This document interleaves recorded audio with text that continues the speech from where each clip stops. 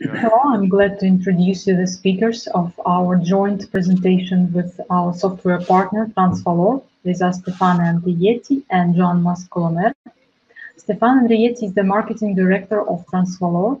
He has a diploma in mechanical engineering and he holds a Master of Science degree in materials science and materials processing from the School of Mines at ParisTech. Stefan has spent over 25 years working at Transvalor he operated as technical support manager until 2011. With a good expertise in Transvalor software portfolio, manufacturing processes and market intelligence, he then decided to move from a technical position to new responsibilities in 2015, and he is now marketing and communication director at Transvalor. Joan Mas Colomer works as an application engineer at DATADVANCE. Joan has studied aerospace engineering at the Polytechnical University of Catalonia. He obtained a PhD in multidisciplinary optimization at Honorius Spiral, and Joan joined DATADVANCE in 2020 as an application engineer. I would like to remind you that we have a, a virtual booth of Transvalor today, and you can chat with the representatives of the company after this presentation. Uh, you can leave the questions in the Q&A panel on the, the, top right corner, and the speakers will answer them at the end of the presentation. On that, I end my introduction and I pass the ball to Stefan. Okay, thank you, Natalia, for this very uh, kind introduction. So good afternoon, everyone.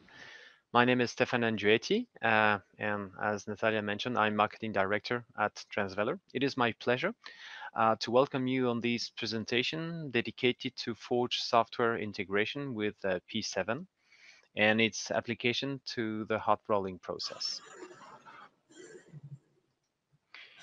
Here is our agenda. So we will start with a brief introduction uh, about the industrial context and give a few words about Forge software. Then we will describe uh, the use case and the way integration has been implemented uh, between the two software and we will comment the main optimization results. Finally, uh, lead to our conclusions and perspectives. So to start with, let me uh, briefly highlight a few key figures uh, as a matter of context. The, uh, the steel industry, despite the pressure coming from light metals technologies, keeps progressing very well. The total steel production uh, has raised by 15% uh, uh, since 2015, reaching last year almost 1,900 million of tons. China is definitely leading this market with more than 50% of the annual production, followed by other Asian countries and the uh, and the US. Therefore, uh, European companies are putting lots of efforts to reinforce their competitiveness and to produce steel grades of very high uh, quality. So this is where process simulation takes place to ease and accelerate innovation. Transvalor is a French company uh, founded more than 30 years ago. Uh, we are based in Sophia Antipolis, which is a technology park located in south of France. We developed and commercialized simulation software dedicated to process modeling for the manufacturing industry. we offer a large panel of solutions and we will focus in this presentation upon Forge software, which is devoted to metal forming. So the software is used for various uh, kinds of applications, starting from the most common closed die and open die forging. As you can see, um, every steps, uh, every step of the deformation process can be simulated and compared to the actual workpiece. The benefits for forging designers and manufacturing engineers are multiple. Being able to make first-time right designs, increase uh, process reliability, boost innovation, there's almost uh, no limit to imagination, keep know-how uh, inside the company, and obviously predict uh, product properties. So Forge software can be used as well uh, for uh, other metal forming processes, such as hot rolling. This is the purpose of our presentation. So simulation is used to address hot rolling of flat products. This is what you can see on this top animation, to the, to the top right, where it is important to master elongation and deformation rate together with uh, properties like inner porosities. And concerning uh, for long product rolling, the challenges can be related to the process stability and simulation can help to avoid defects such as twisting or side uh, wrinkles. So uh, let's move now to our problem statement and the uh, use case description. It is important to recall that uh, preliminary uh, integration work has been uh, conducted uh, with the two software. Therefore, uh, inverse analysis has been performed in order to identify uh, friction or heat transfer coefficients by means of design space exploration and surrogate modeling.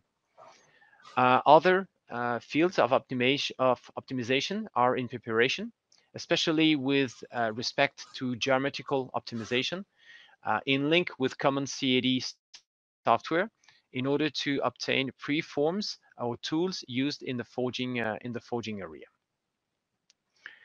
So our use case has been uh, prepared in close collaboration with ACM, which is the research center from the Italian steelmaker ABS. ACM aims at providing technological guidance to master the manufacturing processes and improve steel product quality. So they also have extensive competencies to work on metallurgical aspects and control final product properties. So as mentioned before, Forge is able to simulate hot rolling. Simulations can be conducted uh, using two different numerical methods, depending on the objectives pursued. Uh, the incremental approach is well adapted to see local defects uh, at the entrance or on the edges, but it requires a full modeling of the uh, entire geometry all through the rolling uh, passes. So consequently, computation time can be quite large. Alternatively, uh, the steady state approach, which is uh, represented uh, at the bottom of the, the slide, the steady state approach is much faster as it aims at representing the shape of the product only once the process is stabilized. So in the context of our use case, all simulations have been performed using the steady state approach. So now this picture is showing the graphical environment in Forge software. So the use case consists in a three passes rolling process where a bar of a square section, uh, so-called a bloom, is rolled progressively. Each roll has been designed in the CAD system and then its geometry has been directly imported into Forge. Please note that the intermediate cooling stage uh, between two rolling passes uh, is also taken into account, as the temperature obviously varies during this duration and may impact the metal deformation. So the rolling and intermediate cooling stages are all chained together such as the software is able to compute the complete process chain in one single run. This is what is symbolized uh, right uh, here at the bottom of the, uh, uh, of the screen.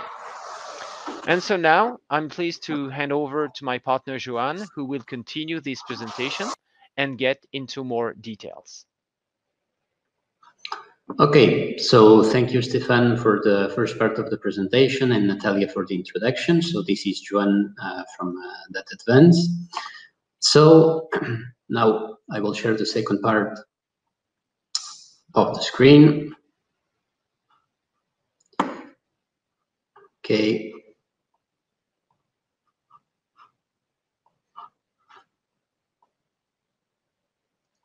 Okay, so as Stefan was saying, um, we'll start working with this with this uh, Forge project. So uh, we will work on the basis of the of the project file um, and, and folder with the transvalor architecture of the of the project file. So here we have available all the material data, which will determine the finite element be behavior and the thermal uh, characteristics. Then uh, within the Forge project, we will define the all the data which is related to the rolls, so their rotating speed, their temperature, and also uh, the parameters that are related to the actual manufacturing process. So the initial temperature of the billet, uh, the transfer coefficient, the heat transfer coefficient between the billet and uh, the tools, as well as the friction between the billet and the tools. So we have these three passes. So let's say that these, um, I mean, the shape of the billet at each stage is transferred to the next step uh, so that all these properties are transferred uh, to the following ones. And but we must say that this process is completely dealt automatically by Forge. Okay, so the actual formulation of the problem. So uh, we recall that we have this forging, hot rolling forging process. Um, we have these three stages, and also we have uh, two intermediate cooling times between steps. They are completely automatically handled by Forge. We will see what are the consequences of that when we will implement this problem using pSeven. And uh, so there are phys several physics involved. Uh, for the rolling steps, we have nonlinear uh, finite element mechanics, as well as thermal analysis for the transient thermal analysis for the cooling steps. And we are talking about heavy simulation times because even with a reduced model with a coarse mesh, the times are around three hours, three hours and a half to give an order of magnitude. So to optimize so what do we actually want to optimize? So we want to optimize the manufacturing quality of the billet. So we will take a look at the criterion which evaluates the damage produced during uh, all the steps. So it's a cumulative damage. And for that, we will control so the cooling that affects the die temperature, the friction between the parts, the rotation speed of the die, and uh, also the initial temperature of the billet. So what's actually our objective uh, function for this problem? So as we said, we want to minimize the manufacturing damage. And for that, the criterion which is used by uh, ACM is uh, what is known as the Latham-Cockcroft normalized criterion, which is a criterion which takes into account both the, the cumulative the uh, plastic deformation and the equivalent stress. So that's a scalar field which can be computed at any point of the billet. And in this case, uh, we will compute it, I mean, we will extract it at the edge of the billet as we see here. We only see one quarter of the model because we had two planes of symmetry. So this problem can be solved using only uh, one quarter of the model. We don't show the, the actual values of the reference point because that's proprietary to, to ACM, but we can show, for example, the ranges of variation around the reference temperature, which are uh, quite high. They are of the order of 100 degrees uh, delta temperature around the, the reference point. We also make vary the reference uh, friction coefficient. For the rotating speed, we go almost, not all the way, but almost half of the reference speed and almost uh, and 40% above. And we can show the, the ranges of the initial temperature of the billet because uh, they are considered uh, very wide. So we cover all the range of possible operational parameters. So now I will actually describe how we implemented this problem under pSeven. And uh, the optimization formulation and algorithm that we chose. But first, we have to accomplish the automation step. Because, for example, for this uh, extraction of the billet uh, results, it was an operation that was done manually, but now we have to automatize all the process. So for each design point, we need to update all the input files of the Forge solver with the updated parameters. So for that, we use the pSeven text block. Uh, one particular thing about this type of analysis, classically when using the this type of solvers, we edit one main uh, text file, which goes as an argument of the program block. But in this case, since it's a complex simulation, I mean, each simulation comprises um, many physical simulation steps, we need to create different text files for every different simulation. But then we don't have to run as many program blocks as physical simulations because just using the Forge uh, functionality, the automatic uh, sequence with a single call of the batch file within the, the program block, we can execute all the chain, uh, all the computational chain. So regarding the outputs, uh, we have just seen the inputs. Now, as we were saying, this is a process that typically the extraction of this, what it's called the length plot, because it's the, the evaluation of a scalar along uh, a path. This is typically done manually, and of course it's possible to do that manually in Forge. There's a dedicated functionality, but the challenge in this in this uh, particular problem was to do that in an automated way. And the challenge is that these nonlinear physical analyses involve remeshing steps, meaning that neither the, the identification numbers along the path are constant. So we need a way to identify them. And for that, we, we use the Python block to, to create a script that extracts all the mesh, extracts the nodes, and then is able to get this information using a post-processing tool embedded with, with Forge, which is the GLB. So uh, regarding the actual optimization workflow, now we have all the unitary uh, run assembled, so we can move to actual optimization. Before actually optimizing, we started with an initial DOE that enables to ensure that the workflow works correctly, that the model works, the physical model works correctly within this design space, and also to perform eventual sensitivity analysis in case we observe that a certain variable doesn't have an influence or uh, we want to change the, the objective function because we find uh, a more meaningful one. But we can reuse all this budget with the, as an initial sample, we can use it for the subsequent SBO, so surrogate-based optimization step. So now I can actually show you, because I'm short in time, the optimization results.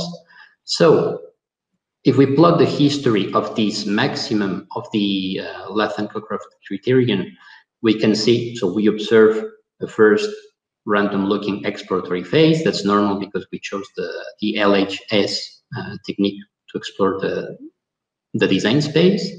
And then we plug these as an initial sample so we can actually see how the SBO focus on the lowest values of the objective function. And uh, we have to recall that we have two different types of nonlinearities, both linked to the physics and the, the objective function, which is the maximum of the of distribution. So we can confirm the quality. So uh, somewhere after 80 iterations, there's already a significant improvement. So that's the refined computation of the damage criterion. So we see that we have all this zone, which is at the maximum level. When looking with the optimized point, we see that it can reduce the, the damage on the zone here, significantly reducing this value, with thus improving the, the production quality. So now we can extract some conclusions. So we have seen how to automate uh, a complete uh, industrial-like forge process in pSeven. So now the, the forging experts can focus on the physics of the problem and automate the task. Also, we, uh, this leads to the possibility with DOE of creating surrogate models and exporting them, not necessarily by using Forge or pSeven. And we also have seen that using a, a tight budget, for example, like in the real world with um, constraints from the production line, that we, let's say within the time frame of a week, we can provide significant improvement on the on the quality. So for that, we had the collaboration of Benjamin Herzer from uh, ACM, which identified these as, a, as an enabler that can, let's say within this time frame of a week, provide significant improvements uh, in terms of quality production. And as Stefan recalled, uh, the following steps would be to consider the geometry optimization uh, for the rolls. So um, yes, I used a little bit more time than scheduled, but now can use this time for questions. So thanks for your attention.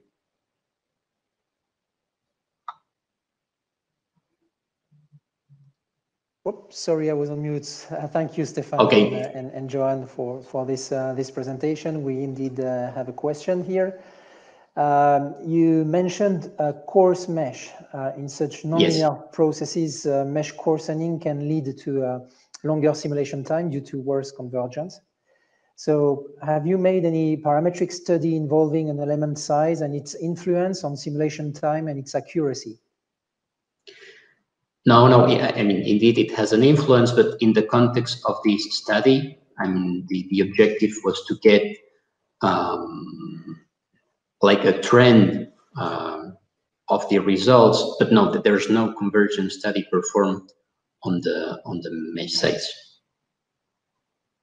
Yeah, talking about the mesh size, by the way, I think the question about uh, model size again is uh, is key here uh, in such FEA related um, uh, workflow. Uh, each time we we are in in such situation where we have to drive uh, simulation software, so finite element software, CFD, forging, acoustic, whatever these are all time-consuming uh, software, and the the unit simulation time can be can it can be an obstacle, of course, for multi-run study and statistical analysis. Um, so um, uh, maybe you can comment on the usage of uh, SBO here again, yeah. and and, uh, and how is important to to to get such such algorithm yeah. in an optimization strategy. Yeah, just to clarify on these, uh, because I mentioned the coarse mesh and fine mesh later, it's true that everything that was used with the DOE and SBO was using uh, the coarse mesh. So precisely for the to use reasonable computation times for, let's say, a more or less uh, massive DOE. But then, for example, it was a one-way uh, check. So we took the best result using the coarse mesh and then checked using the physically meaningful uh, refined mesh.